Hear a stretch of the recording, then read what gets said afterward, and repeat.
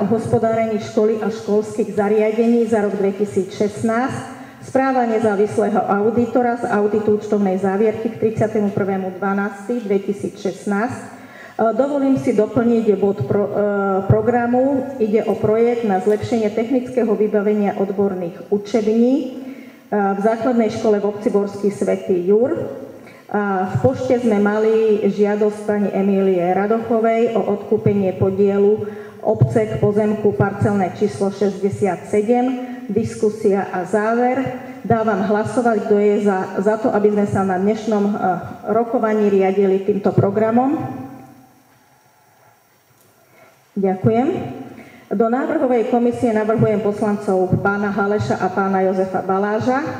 Kto je za to, aby títo poslanci pracovali v návrhovej komisii? Ďakujem. Za overovateľov zápisnic navrhujem poslancov pani Kolárovu a pána Holubka. Kto je za to, aby títo poslanci pracovali ako overovatelia? Ďakujem. Zápisnicu bude robiť e, Mária Šimková. E, kontrolu plnenia uznesení som vykonala 31. mája 2017. Uznesenie číslo 2 z roku 2017, odpredaj pozemku, parcelné číslo 1026 lomeno 10 o výmere 169 m štvorcových pánovi Petrovi Šikovi. Toto uznesenie vedieme v evidencii. Obecné zastupiteľstvo schválilo odpredaj pozemku o výmere 169 m štvorcových pánovi Petrovi Šikovi za cenu 1,5 eur za meter štvorcový.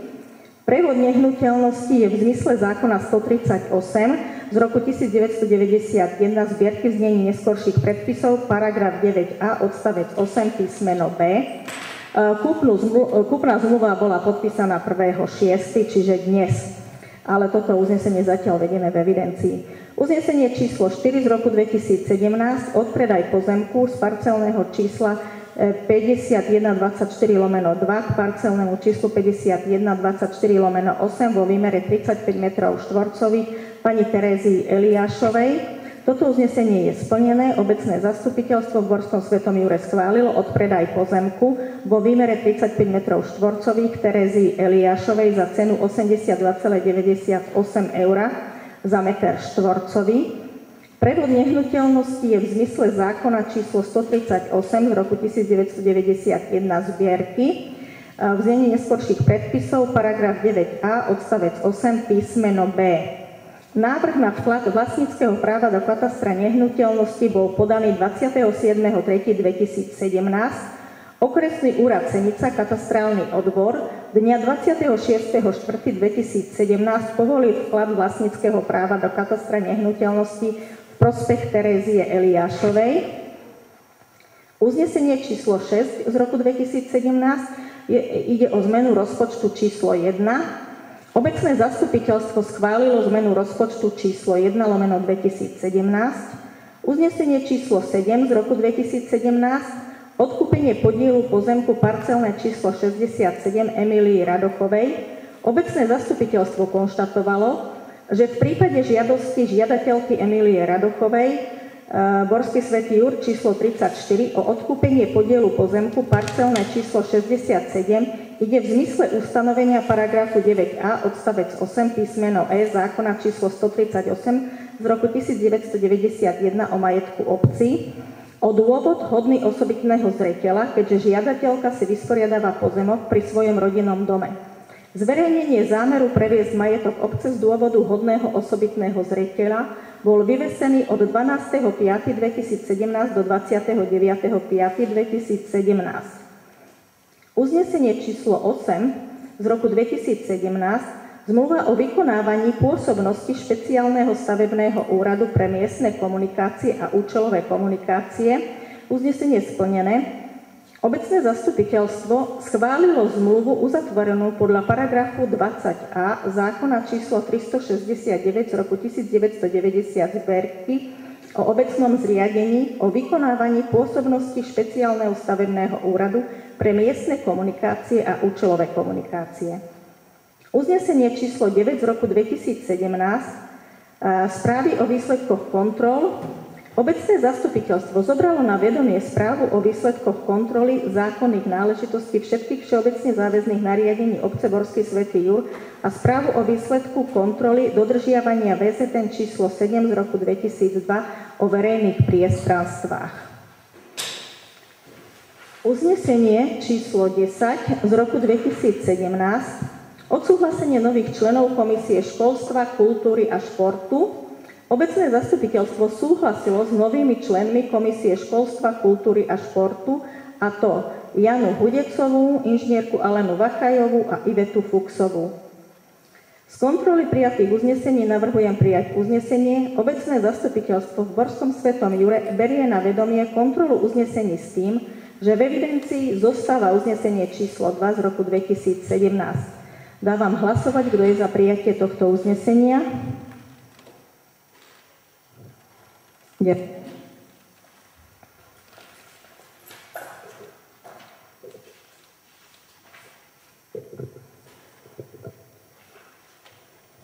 Základná škola s materskou školou predložila obecnému zastupiteľstvu správu o hospodárení školy a školských zariadení za rok 2016. V tejto správe poskytla prehľad o školských zariadeniach, počtoch žiakov a zamestnancov a poskytla i zdroje financovania. Poslanci obdržali správu s pozvánkou na zasadnutie obecného zastupiteľstva. Správa bola prerokovaná v Rade školy 27.4.2017. Navrhujem prijať uznesenie. Obecné zastupiteľstvo v Borskom svetom Jure berie na vedomie správu o hospodárení školy a školských zariadení za rok 2016. Dávam hlasovať, kto je za prijatie tohto uznesenia. Ďakujem.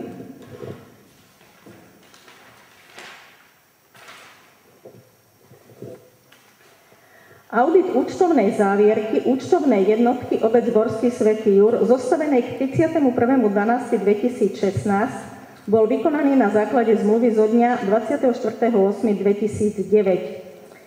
Obec je zriadovateľom rozpočtovej organizácie správnou subjektovitou a to základná škola s materskou školou Borský svätý Jur Hviezdoslavová 215. Pri overovaní účtovnej e, ročnej závierky obec za rok 2016 auditorke poskytla podklady súvahu výkazistov a strát poznámky, finančný výkaz o príjmoch, výdavkoch a finančných operáciách, výkaz o daní z nehnuteľnosti za rok 2016, uznesenia zastupiteľstva za rok 2016, rozpočet obce na rok 2016 a evidencia o rozpočtových opatreniach obce, správy kontrolóra za rok 2016, záverečný účet obce za rok 2016, evidenciu rezervného fondu, evidenciu majetkového okruhu, evidenciu účtovného okruhu, evidenciu fondu prevádzky, údržby a oprav, evidenciu účtu 351 a 355, e, súhrnú správu o zadaní zákaziek s nízkymi hodnotami a cenami vyššími ako 5000 eur, evidenciu verejného obstarávania, evidenciu všetkých zmluv, evidenciu a zúčtovanie dotácií poskytnutých zo štátneho rozpočtu, evidenciu a zúčtovanie poskytnutých prostriedkov z rozpočtu obce,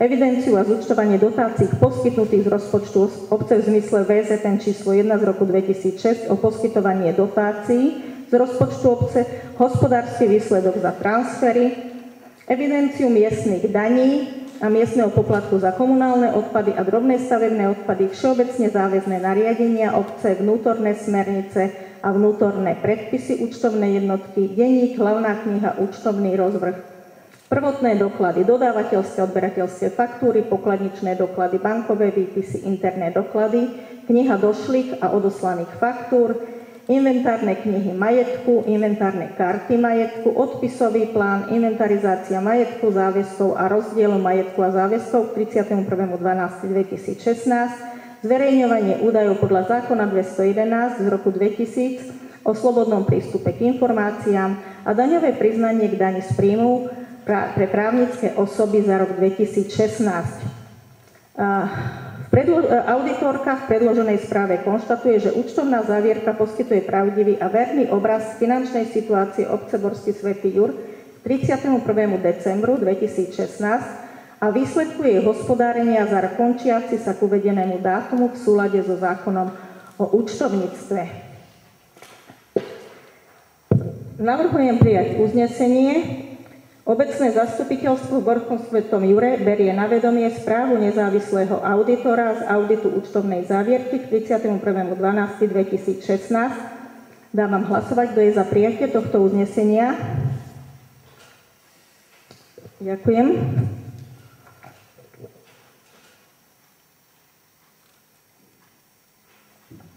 Na zasadnutí obecného zastupiteľstva dňa 19.4. poslanci schválili zámer odpredať pozemok obce z dôvodu hodného osobitného zreteľa žiadateľke Emílii Radokovej bytom Borský svätý Jur číslo 34, ktorá si vysporiadáva pozemok pri svojom rodinnom dome. Zámer previesť majetok obce z dôvodu hodného osobitného zreteľa bol vyvesený od 12.5.2017 do 29.5.2017. Navrhujem, aby obecné zastupiteľstvo schválilo odpredaj pozemku parcelné číslo 67, zastavané plochy a nádvoria o výmere 354 m štvorcových za cenu 1,5 eur za meter štvorcový. Má niekto nejaký iný návrh? Ak nie, navrhujem prijať uznesenie. Obecné zastupiteľstvo v Borskom svetom Jure schváľuje Odpredaj pozemku parcelné číslo 67, zastavané plochy a nádvoria o výmere 354 m štvorcových v podiele jednej štvrtiny Emílii Radokovej za cenu 1,5 eur za meter štvorcových. Prevod nehnuteľnosti je v zmysle zákona číslo 138 z roku 1991 zbierky v znení neskorších predpisov paragraf 9a odstavec 8 písmeno E. Zároveň poveruje starostku obce podpísaním kúpno-predajnej zmluvy a návrhu na vklad do katastra nehnuteľnosti. Dávam hlasovať, kto je za prijatie tohto uznesenia. Ďakujem.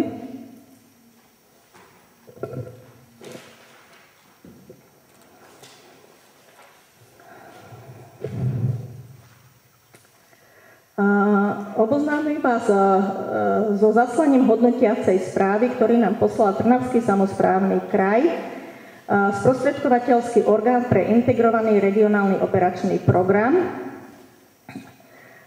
Na základe posúdenia predloženého projektového zámeru zlepšenia technického vybavenia odborných učební a školskej knižnice v základnej škole v obci Borský svätý Jur vám v prílohe zasielam pozitívnu hodnotiacu správu.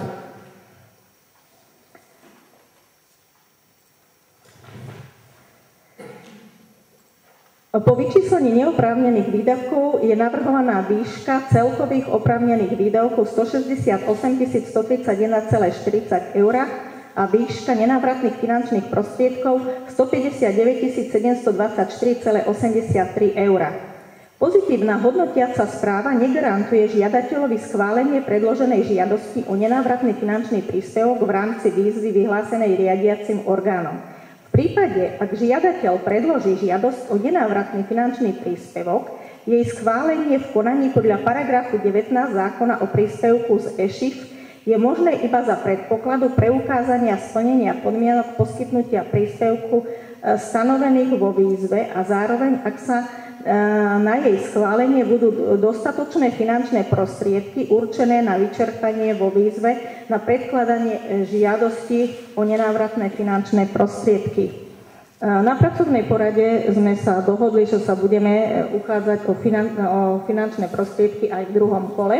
Takže navrhujem prijať uznesenie. Obecné zastupiteľstvo v Borskom svetom Jure schváľuje predloženie žiadosti o nenávratné finančné prostriedky za účelom realizácie projektu zlepšenie technického vybavenia odborných učení, učební a školskej knižnice v základnej škole v obci Borský svätý Jur, realizovaného v rámci výzvy IROP P02 SC 222 pomočka 216 pomočka 13, ktorého ciele sú v súlade s platným územným plánom obce a platným programom rozvoja obce.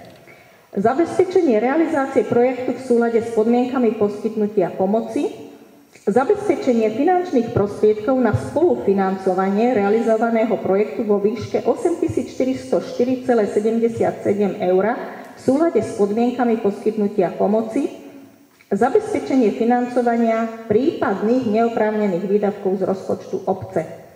Dávam hlasovať, kto je za prijatie tohto uznesenia. Ďakujem.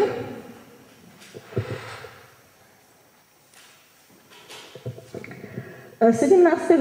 nás mailom informovali, že na základe hodnotenia žiadosti o finančnú podporu z verejných zdrojov poskytovaných Fondom na podporu umenia, ktoré boli podané v rámci výzvy číslo 5 z roku 2017, program 511, odborná činnosť knižníc a knižničná infraštruktúra, odbornou komisiou a rozhodnutím riaditeľa Fondu na podporu umenia finančne podporí našu žiadosť ktorú sme nazvali Skvalitnenie poskytovaných služieb v knižnici v Borskom svetom Jure sumou vo výške 1500 eur.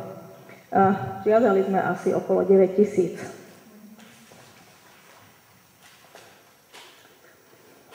Ministerstvo životného prostredia Slovenskej republiky vyhlásilo 26.5.2017 výzvu na predkladanie žiadosti o nenávratný finančný príspevok v rámci opatrenia 1.1.1 podpora predchádzania vzniku biologicky rozložiteľných komunálnych odpadov.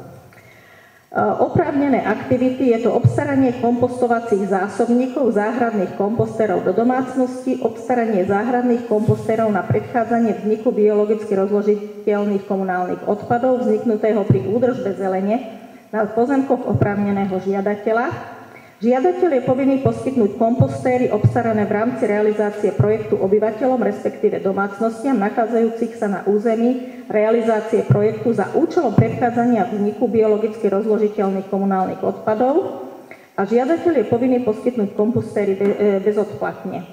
Oprávnenými žiadateľmi sú subjekty územnej samozprávy, čiže obce a združenia obcí, Ministerstvo vnútra Slovenskej republiky a Ministerstvo životného prostredia Slovenskej republiky.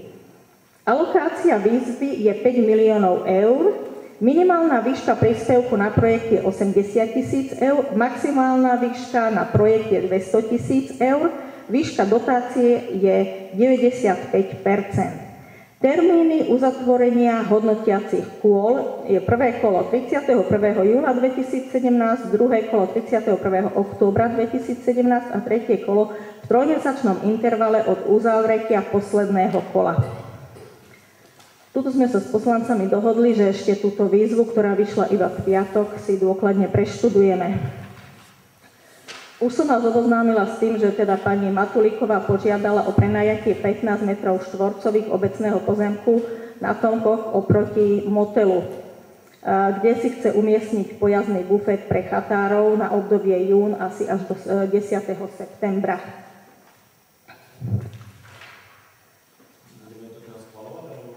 Vieš čo, akože čo sa týka do 30 metrov štvorcových môžem aj ja schvalovať, čiže oni sa odvolávajú na zásady o hospodárení, čiže vyrátam to podľa našich zásad o hospodárení na, na to obdobie len.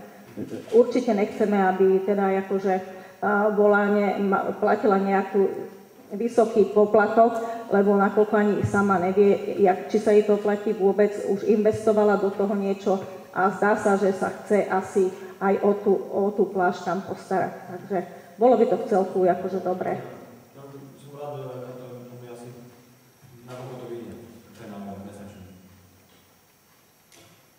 Mm, no keď vyrátame 3 eur za rok e, počtom mesiacov, čiže ja si myslím, že by ju to nemalo výsť možno nejakých do 30 eur. 3 eur na rok na uh-huh. Tu máme podľa zásad hospodárenia. Uh-huh. 22.4. boli v našej obci krojované hody, 26.4. zasadala komisia verejného poriadku, 6.5. jednota dôchodcov Slovenska usporiadala Svetojurskú zabíjačku, 10.5. zasadala opäť komisia verejného poriadku, 11.5. v Národnej rade bola odborná komisia organizovaná Veronikou Remišovou, 12.5. zasadali členovia mikroregiónu Šaštínsko k usporiadaniu kultúrnych slávností, ktoré budú 18.6. na Gazárke v Šaštíne. 13.5. bola hasická púť v Šaštíne, 14.5. tradične 2. májovú nedelu prebiehala oslava Dňa Matiek, 15.5. bolo valné zhromaždenie členov občianskeho združenia Ma Záhorie. Firma Ladisko odviezla kuchynský olej. 21.5. o 4.51 hodine sa stala dopravná udalosť, pri ktorej bol zlomený telekomunikačný stĺp, utrhnutý stĺp verejného osvetlenia a vytrhnutá dopravná značka Daj prednosť v jazde. Škoda sa bude riešiť zo zákonného poistenia vyníka. V 21. týždni pracovníci obce vyčistili a vykosili kemp a v tomto týždni bol vymenený aj odvodňovací žlab pred večierkou. V 22. týždni sme podali žiadosť o dotáciu na multifunkčné ihrisko a požiadali sme nadáciu Allianz o dotáciu vo výške 1000 eur, čo je teda maximálna suma. V sobotu 3. júna Organizujeme Deň detí, na ktorom bude ukážka jazdeckej polície, divadielko pre deti Kohútika Sliepočka, ukážka hasičskej techniky, budú tam aj dravce a koníky. Ako som už informovala, 18.6. budú kultúrne slávnosti v Šaštine, kde teda bude vystupovať e, Juránek. A 28.6. bude zasadnutie obecného zastupiteľstva. Toľko informácií a týmto pádom otváram diskusiu. Ja som dostal požiadavku z rady občanov opäť na pozemky, či máme niečo nové, ktoré by kúpili, tak tá pani, čo bola aj minulé, tak sa... Mhm, ja som s ňou hovorila, ja som jej vysvetlila, aká je situácia. Ona, e, čo sa týka našich pozemkov, tak tam, sa, tam prebieha stavebné konanie ktoré teraz už finišuje. Čo sa týka už aj ostatní, e, proste aj ostatní občania, ktorí v rámci pozemkových úprav získali nejaké pozemky, už aj tí sa nejak tak ozývajú. Povedala som, že mali by sme aj schváliť nejaký územný plán zóny alebo proste nejak územný plán obnoviť. Vlastne čakalo sa na ukončenie pozemkových úprav.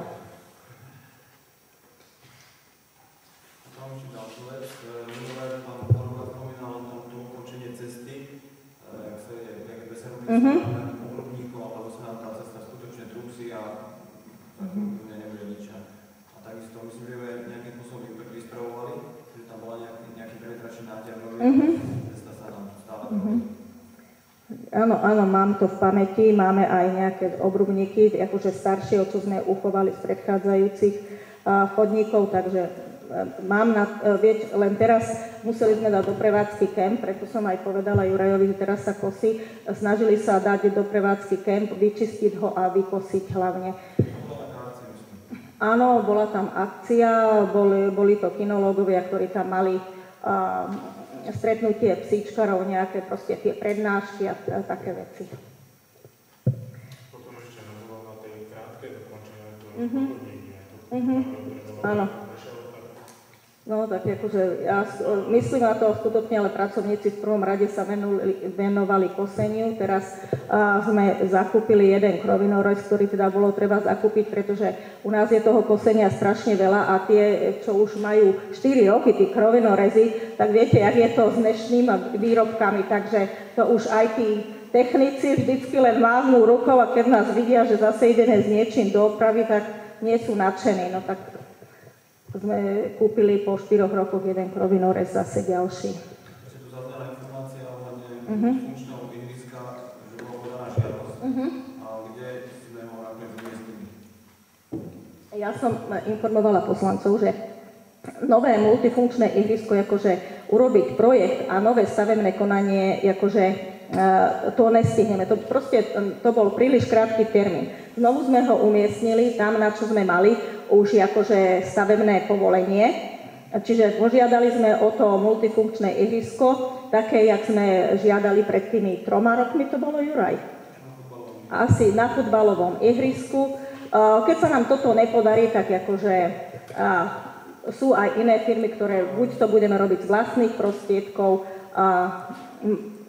Rozprávala som aj s pánom Šimanským, ktorý z firmy Adara, ktorý akože robí tieto multifunkčné ihriska, takže eh, je ochotný prísť medzi poslancov a potom eh, poradiť poslancom, jak by sa to dalo riešiť čo najefektívnejšie z vlastných prostriedkov. Nech sa páči.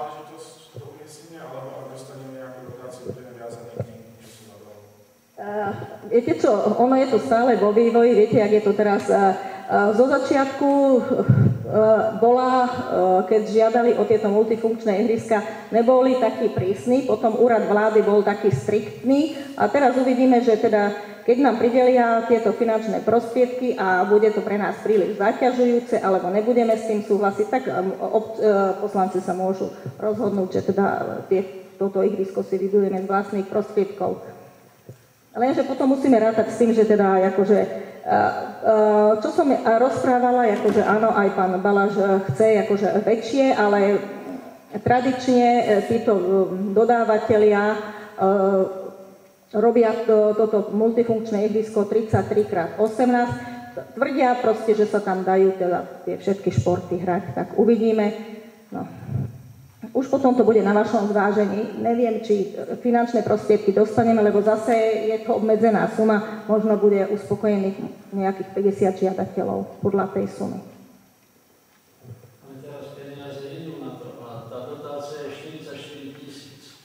No, ono sa rozpráva aj o 35, uvidíme teda, koľko pridelia. Uh-huh.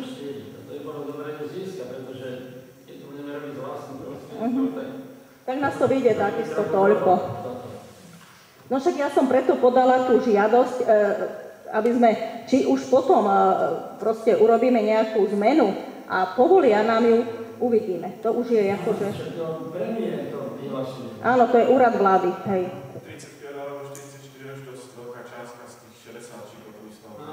60, 60, 65 a 70, ale to je to väčšie. Uh-huh, ono záleží, či tam je aj osvetlenie, aké mantinely, že či teda, jaká aj je výška tá, tej trávy. E, keď je vyššia tá tráva, čo teda pri futbalu je, môže byť vyššia, no tak akože aj to je drahšie. Ono záleží od tých materiálov použitých. Ešte by som sa rád vrátil k uh-huh. odvodneniu školy, lebo tam, tam máme stále nedoriešené, keby sa pokračovalo s tým chodníkom, tam jak bol spravený pri No táto záležitosť by sa mala robiť hlavne cez prázdniny, keď budú deti preč. Ono ide o to, že tam by som najradšej toto riešila na pracovnej porade, pretože je tam viacej takých aspektov, ktoré, na ktorých sa musíme dohodnúť a vlastne zhodnúť, ak to budeme ďalej riešiť. Ale... Ja som tomu vyjadril, mm-hmm pretože toto je to vážna vec, to čo Peter hovorí po tejto búrke, do tej školy sa, do materskej školy sa nedalo ísť. Tam bola, ja neviem, snad 7-8 cm vrstva vody a švono. To... Ale ja ti hovorím, že ono sa to bude riešiť, ono to môžeme e, spojiť s tým, jak sme sa dohodli, že budeme robiť uh, stojd aj prednosť v jazde, čiže uh, nájazd na tú cestu. Ono by sa to malo s tým vyriešiť a potom, čo sa týka akože aj odvodnenia školy, tam je viacej takých aspektov, či teda tú školu odvodniť, odkopať, alebo jak to vôbec riešiť. Takže... Cez prázdniny hovorím, áno. Totiž to tu je nová, jeden nový poznatok. A síce mm-hmm. dnes sme zistili, že no. je nefunkčná kanalizácia. No však e, tým, e, tým sme chceli začať, že práve sa musí preveriť, či kanalizácia... Áno. Dnes tu bola znova firma Áno. a robili, čo vedú z telocvične a zo školy smerom dole, k žumpe, tie sú buď, buď klesnuté, alebo... Proste to, to sa bude musieť všetko rozkovať. Takže týmto, týmto sa bude musieť začať, pretože táto firma tam už raz bola a. No však my sme zistili. Jaká vôňa tam bola dnes a teda toto zistili. Takže tam sa bude musieť začať, my musíme vyčísliť, alebo teda požiadať nejakú firmu, ktorá nám vyčísli, čo to bude, bude stať. Samozrejme. Navrhujeme jednu vec, že no. toto by sme urobili my. Tú firmu by sme zobrali Áno. a by nám urobili nejaký finančný rozpočet. Uh-huh. Čo by to stálo. Uh-huh. No, a potom sa dá povedať, že my sa to budeme snažiť robiť čo najskôr. Uh-huh. Týmto musíme začať. Však e, to bolo vidno pri tých vlastne, že buď je tá, mys, hej, áno, že, či, že tá kanalizácia môže byť upchatá, alebo, áno, takže hej, dobre. No ale samozrejme, že je to telosvične. No hej, my sme tam mali už nejakých odborníkov, lebo sme sa snažili, Hej, akože dvoch nezávisle sme si pozvali, aká, akože, ako to riešiť, ale ono aj tá vlhkosť to, pod tou budovou je spôsobená tou nefunkčnou kanalizáciou. No, je to možné. No, tak akože dobre, spojím sa s pani riaditeľkou, dobre, dohodneme sa na... Ináč je na to vyčlenených 30 tisíc, Mhm. takže zdá sa čerpať z toho. No, Mhm. potom, čo ďalej. Dobre, v poriadku, hej. Tá životnosť budovy sa radikálne znižuje rok co rok, hlavne pri tých búrkach, bude nutné pri tej stopke a dá prednosť viacej určite eliminovať ten prísun vody, jak prvé. No však aj, lebo aj, no, to máte pravdu, proste, lebo tam tečie tiež dosť vody z cesty, čiže treba to riešiť komplexne. Preto o tom hovorím, že uh, treba pracovnú poradu a, zist, uh, a riešiť to. Teraz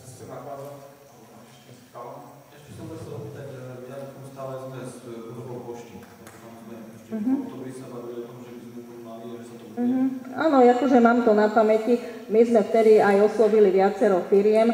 No teraz sa pokúsim znovu osloviť nejaké firmy, lebo teraz uh, vlastne môžeme to robiť aj cez prieskum trhu, lebo sú zvýšené od 1.6. limity, finančné limity na verejné obstarávanie. Ja sa chcem nadviazať na to multifunkčné ihrisko. Mhm. No, nebudem riešiť to, kde by malo byť, ale padlo to aj Mhm. ten návrh, že by to bolo v tých priestoroch, kde sú teda prebieha postavené konanie nové pozemky. Mhm. Takže som sa informoval asi pred 3 mesiacmi o tom e-mailom na to, a ako stratégiu vôbec plánuje nastoliť v tom, ľudí oboznámiť s tým, že pozemky tam máme. Odpoveď bola taká nemastná neslaná, tak v akom štádiu sa to teraz nachádza? Už sú záujemcovia na tie pozemky? A to, viete čo, záujemcovia, tak jak som vás už informovala, záujemcov môžeme mať na, akože môže ich byť x, y, ale budeme to riešiť tým spôsobom, že Ja obec... pýtam, či sú niečí, môže byť nepodmenovací spôsob, ale kategorický. Sú nejakí záujemci? Áno, sú. Koľko? Ja teraz vám z hlavy neviem povedať, koľko ich je.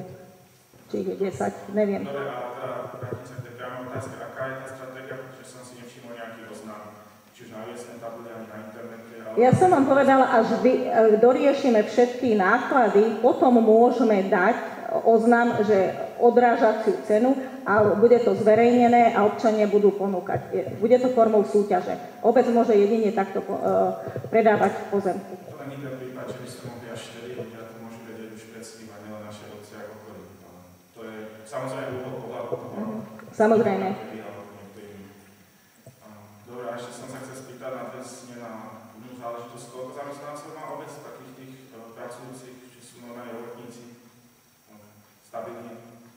To v priemere to vychádza, asi, v priemere za rok to vychádza asi tento rok tri- 13 zamestnancov. Ja, ale súčasne, teraz Akože stabilných? podiel príjem práce 13. Uh, teraz ide o R funkciu alebo technicko-hospodárskych. E, Čo vidíme na ulici, pracujú tu e, a tak ďalej, napríklad, Uh-huh, tak tam, tam sú štyria, ostatní sú cez úrad práce. zero práce. Ale tí sú pravidelne, Viete, čo to je vždycky na, na uh, obdobie, podľa toho, jak úrad práce má nejakú výzvu. Tak ja som tu aj minulé vás oboznamovala s tým, že treba sa uchádzame o takú výzvu, bude prijatý pracovník, naposledy to bol treba ten Valachovič, na obdobie 6 mesiacov nám to schválili.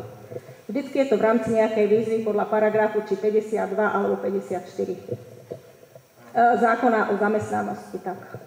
Mali sme schôdzu a boli tady aj univerzity tí ľudia, čo sa týka tej kanalizácie a dohodli sme sa to, že bude schôdzka v Malackách na tom úrade, aby sa naviadili e, ten potok, čo tu máme v Raškovom kanálu. To som sa pýtal tiež, e, tá schôdzka už bola, alebo bude, pretože tá informácia sa tu nedostala ani neviem, či aj. Riešili sme to pred... To my sme to riešili na pracovnom. Nie, ty, počkajte, mo- v Malackách nemala iné. Povodie došlo sem, oni boli tu v Jure priamo. A záver bol aký? E, Záver bol taký, že teda projektant poskytol e, parametre, ktoré by si predstavoval.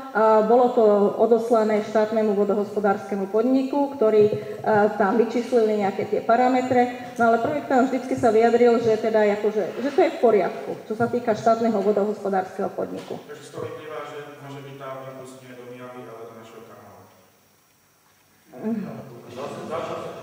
Zákaz, lebo štátny, e, e, hos- e, SHMU sme požiadali o 365-dňový prietok vody, aby nám to vyčíslil. Očakávala som v piatok túto informáciu, zatiaľ neprišla. Presne to som chcel uh-huh. A ešte aktuálnu, ako je to s tým detským ihriskom, na začiatku uh-huh. sme sa rozprávali v úvode tohto roku, že uh, by sme to mali stavať v máji či v júni, že to je ideálne. Uh, všetky prípravy už boli spravené, dohodli sme sa či už na konkrétnom podobe toho ihriska, aj v firme, aj na mieste sme sa uh-huh. nejakým spôsobom zhodli, sme si dali z tých všetkých sietí, uh-huh. ako je to štádiu a prebieha komunikácia s No nie, objednám to. Dneska sme sa na pracovnej porade dohodli, čakala som, či sa niekto k tomu vyjadri, keď Peter rozposlal tieto uh, informácie, tak či sa niekto vyjadri. Dneska sme sa dohodli, že teda áno, objednáme to, ktoré, uh, na, uh, ktoré bolo zobrazené. Teda... Viete čo? Áno, no zhodli sme sa, ja som to pochopila tak aj na dnešnej pracovnej porade. Všetci s tým súhlasili, že by to malo byť v zadnej časti tam od fontány pri Lopatníkovi, tam, kde hej. Je stará informácia, ale na aký sme tu a tak ďalej. Konkrétnu podobu technickú. Nie, to až, až dojdu montovať, tak proste uvidíme, jak to bude najvhodnejšie. Tak by som poprosil, aby ste komisiu potom informovali, ako bude prebiehať dohoda s tou firmou o tom, kedy prídu a zvážili prísť. Mm-hmm. Dobre, to je akože samozrejme, termín mám oznámen, keď prídu uh, s montážou. A ešte mám poslednú otázku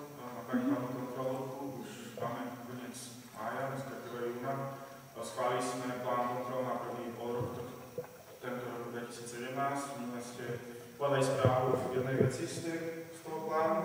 Najvyššia zastupiteľstvo bude už prakticky v čase toho, už keď sa pol rok naplní a plánujete vtedy nám, nám prezentovať všetky tie kontroly, ktoré ste urobili? Plánujem Nie, my sme si stavili nejaký pôročný plán, ktorý pol rok mám činiť. Ja mám 20% výrobené. Na aký to je si to nejaká A čo je na 20% výrobené? Čo je na 100%? Čo sa robí na 20%? Vôbec ak možno máte 20%, ale tie výkony, ktoré práve sú možno aj 5%, takže tam minimum to je jasné, že posudzujete? No podľa práve tých výkonov a správ, ktoré nám dáva. A čo je výkon na 5%? A čo je výkon na 20%? 20% je dohodnutá suma a 5% je to, čo nám prezentujete. A kde to je napísané? No, vo vašej zmluve. Ale na 20% nie je napísané, čo presne mám kontrolovať. Máte kontrolovať to, čo sme sa uznesením zhodli. Ja sa pýtam jednu otázku. Bude, budú všetky výsledky tých kontrol prezentované na našich Bude zastupiteľstve? toľko, aký mám e, úvezok, hlavná kontrola.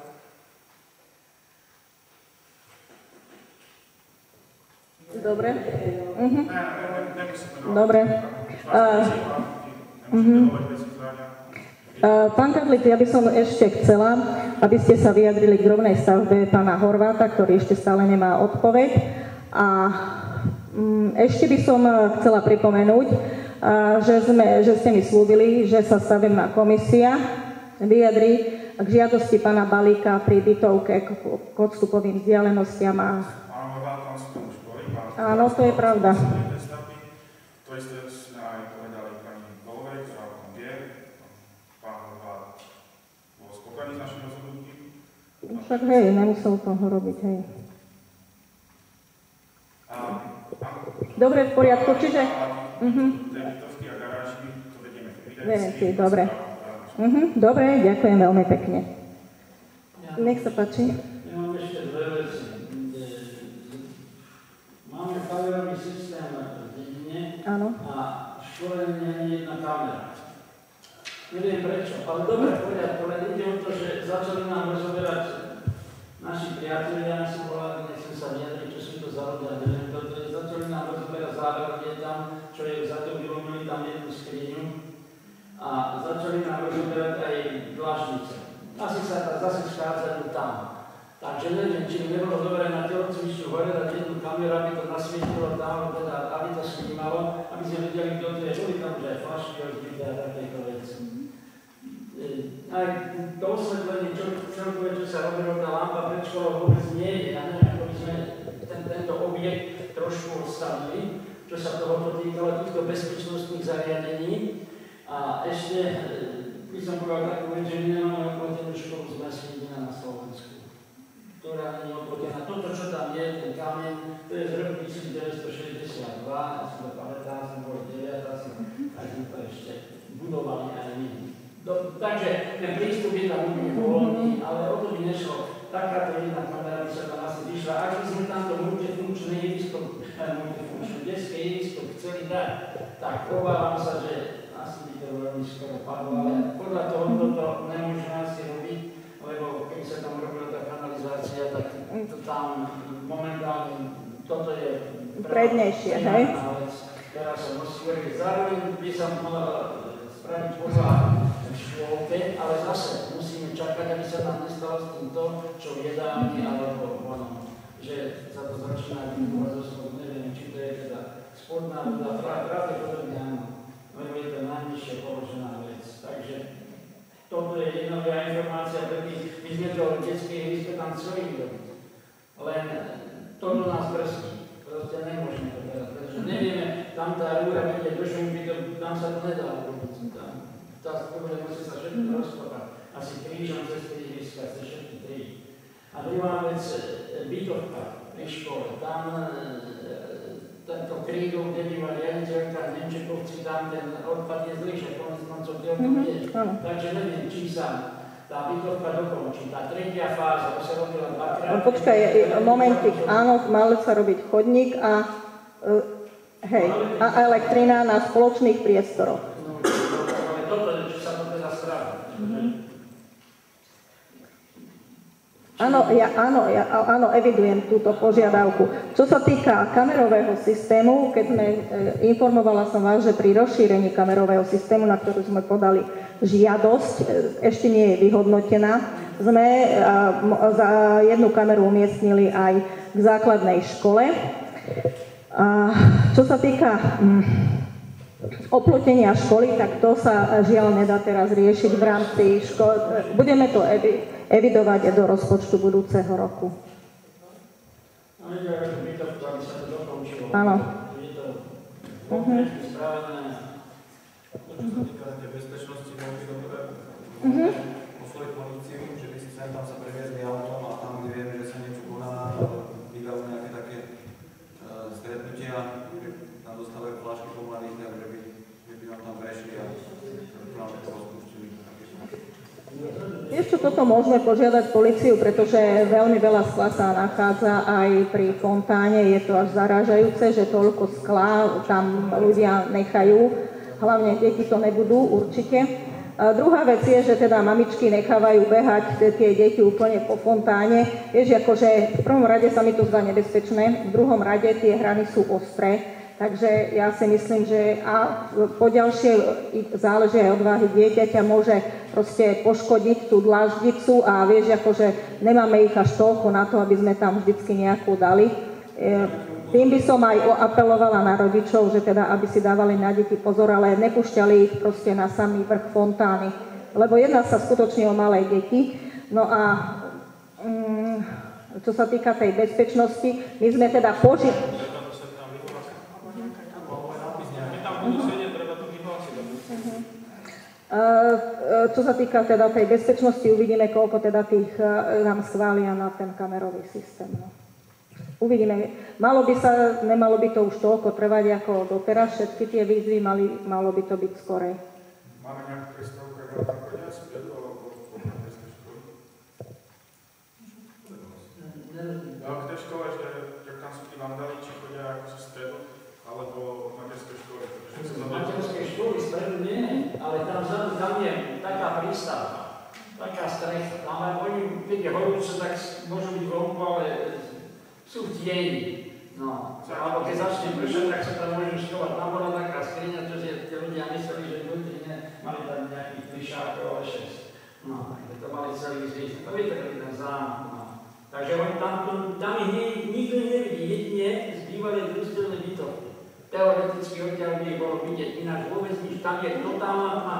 Ináč sú senzory smerom do školy, keď sa ide, keď niekto vkročí ku tak sa to rozsvieti ale keď lezí dozadu, tam je totálna tma. Tam nie je nič proste, takže... No, to zabergovať, to je zatiaľ ešte, na tom volejbalovom ihrisku. Tam to je, no. A tam sa schádzajú, no tam, majú, tam sú lavičky pre tie detská, tak tam asi. No. Takže keby sa dala na telocvičnú kamera, tá to rovno zachytí. Tam. Takže jedine tak, alebo nejaké svetlo tam, čo ja to, by možno odradiť. Ale chodia tam pravidelne. Nechávajú za sebou evidentné stopy. No my sme sa snažili teda rozmiestniť tie kamery tak, aby teda bol ten eh, monitorovací systém zase rozšírený. A snažili sme sa teda aj v škole tam dať na ten elektrický stĺp, a aby to monitorovalo proste smer ku kotolni a materskú školu. No a e, samozrejme, že sme sa snažili aj, čo sa týka k zbernému dvoru, nakoľko nám tam zase vykradli e, jedná sa iba o to, že e, ukradli nejaké káble na to, aby na osvetlenie, tak aj tam hovorím, že snažili sme sa to tak viac menej monitorovať. Aj pripomienku pani Macejkovej výstránky, čo No tak snažili sme sa tie kamery tak rozmiestniť, len ozaj záleží od toho, aký ten um, príspevok schvália. Či budú veľa krátiť, alebo nám ponechajú našu žiadosť, neviem.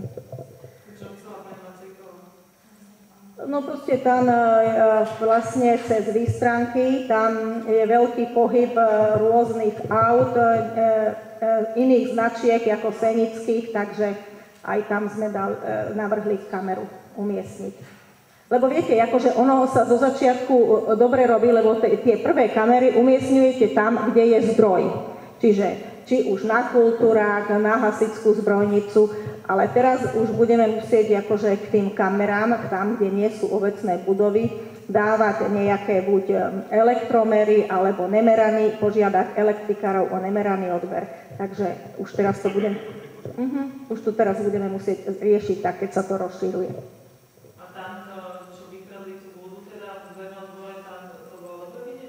Ne, viete čo? Ne, tam to, viete, ono, viete, ono tá kamera v noci nezachytí až tak ostro, uh, takže... Dobre, ale svojich ľudí si tu poznáme, takže vieme aj zhruba... Uh, áno, uh, Ne, nič nebolo, ne, ne, tam to až nebolo vidno. A okrem toho, treba aj kamerový systém má rekoplast, ale oni majú len pobránu. Takže Uh-huh. Tam akože... O... Nedá sa to predstaviť teraz zase natočiť ináč trošku na ten zberný dvor? No však my sme požiadali o rozšírenie kamerového systému. Ne, lebo uh, teraz máme... Pre... Ne. Ne. Uh-huh. Ono sa to nedá len tak, že dám kameru dolu, ono tam ide aj o ten káblový systém, takže máme... Vyjde mi len o to, že vidím nejaká žena, ale vidím niekde tak... Ne, ne, ne, to není až tak. Tej na strojnici, keď je otočená nejak a tu je zberný dvor, či mu nestačí len nejak otočená. Ne, to je príliš ďaleko. Uh-huh. To len môžete akože... Tam by aj stačilo niekedy pohybá, jednoducho to je, to je o tom, že... Nemusíš prečítať, stačí ti tým auto, akože ja si myslím, že keď sa chce, tak sa dá. Ne, nepotrebuješ vidieť značku auta. No tak to... Je to lepšie, je to lepšie. Vždycky to je lepšie, ale keď máš farbu a ty, tak takisto je to lepšie. Ono v noci ťažko sa rozoznáva, tam vlastne či je tmavé, bledé, ono veľmi ťažko, ale Tuto to išlo o miestnych nejakých takých, čo potrebuje. Keď aj vieme, kde sa zgrupujú a jedno z druhým. Aj tu dozadu už ma nechodia. My sme, však vám hovorím, že... Zozadu také značky. Mhm. My sme sa snažili monitorovať všetky tie smery, takže sme dali aj na Pesermlinskú cestu, aj na 14. Snažili sme sa, aby boli všetky smery zachytené.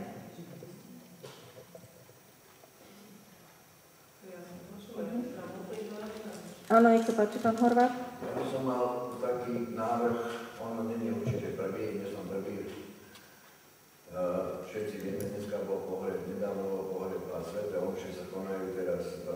kostole, pretože pán Farár povedal, že teda tam nie sú dôstojné podmienky na jeho ikon, aby sa mohli tam konať kompletne e, celé obraty aj v rámci aj so Svetou Omšou.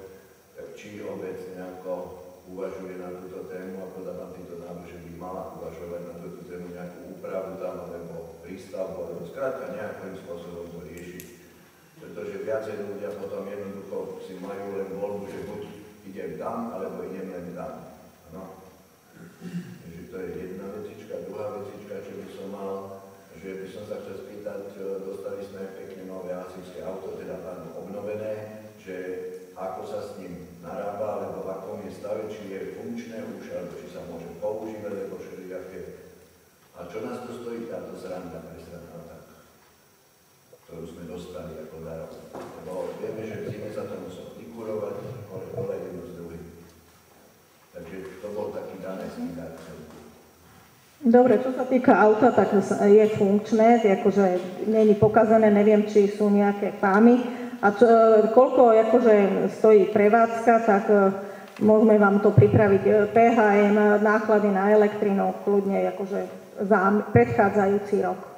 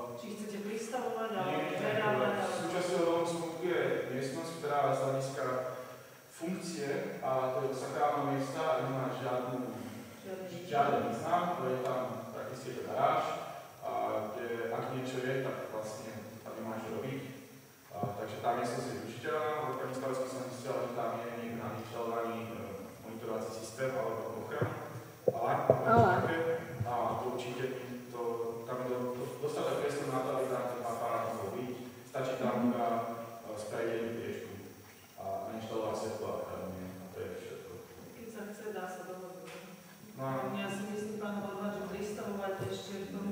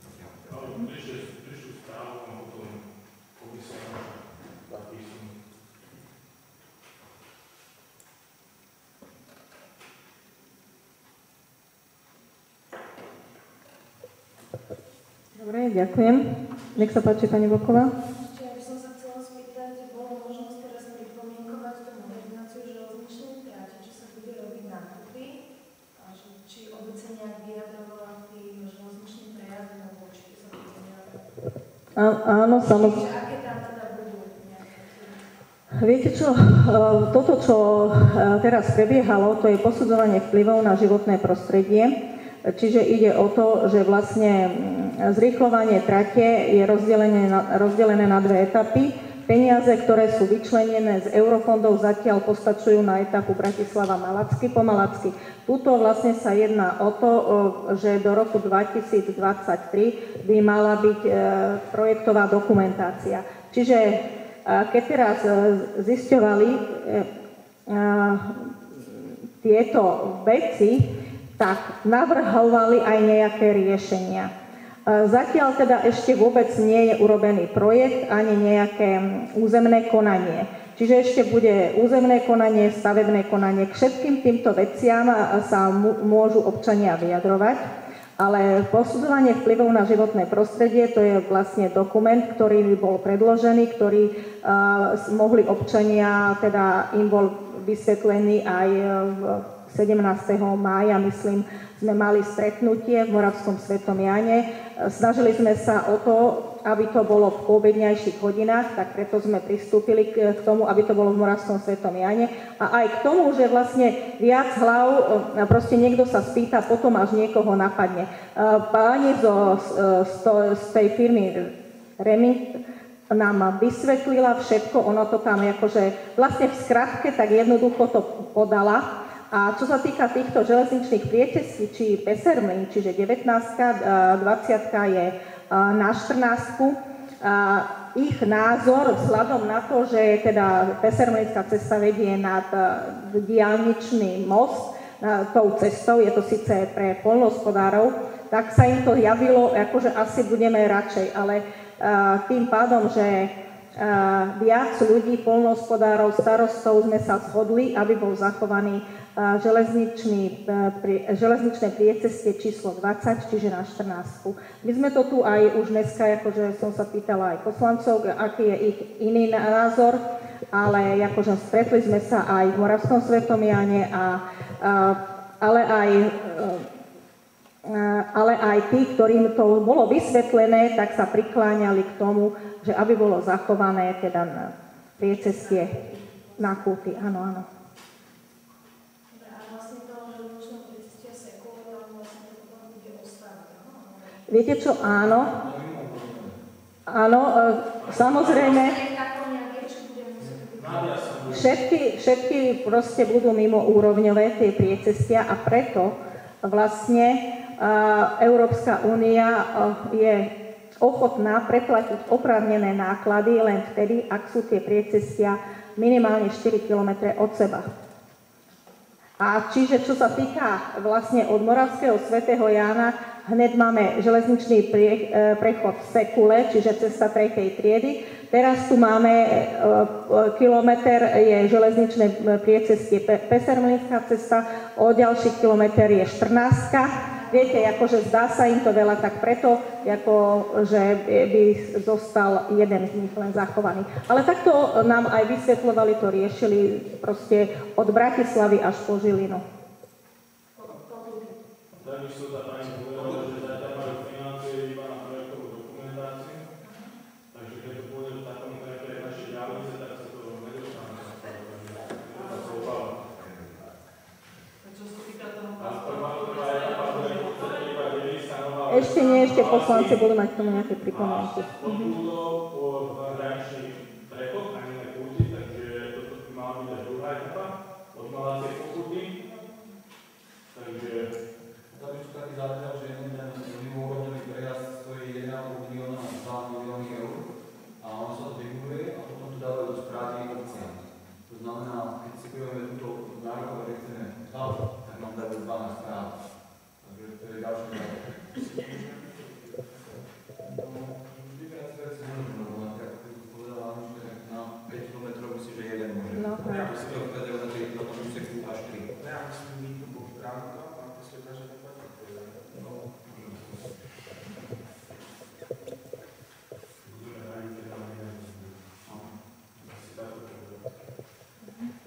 Ale samozrejme, keďže bude jeden zrušený, tak oni budú musieť e, sprístupniť všetky cesty tak navrhnúť, aby bol prístup ku každému pozemku, ktorý bude za železničnou traťou.